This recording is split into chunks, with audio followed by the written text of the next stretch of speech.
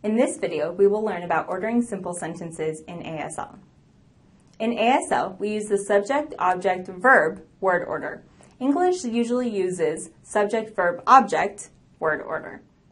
I once asked a friend about the order of simple sentences, and they told me to state the subject you were talking about and then to talk about it. This really makes a lot of sense. Anytime that you're trying to decide how to order a sentence, always start by telling what the subject is. Here are some examples. That dog loves to play.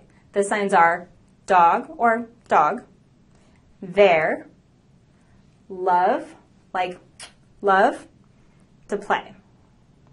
So,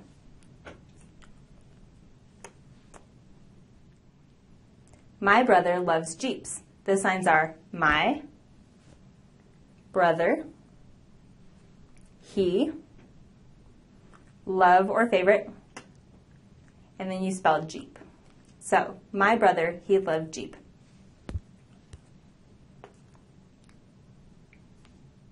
Starbucks is my favorite coffee. The signs are coffee, Starbucks, my favorite, or you could sign favorite,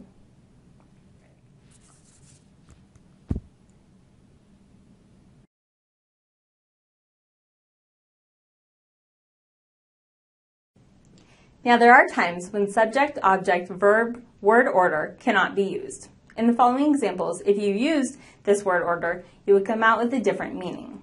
Bob and Kate kiss. So, Bob, you'd spell, and Kate, kiss. Bob kisses Kate. Bob, kiss, Kate.